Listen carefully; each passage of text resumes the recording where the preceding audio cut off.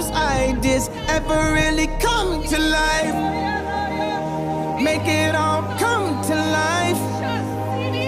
Make it all come to life. Praying for a change in your life.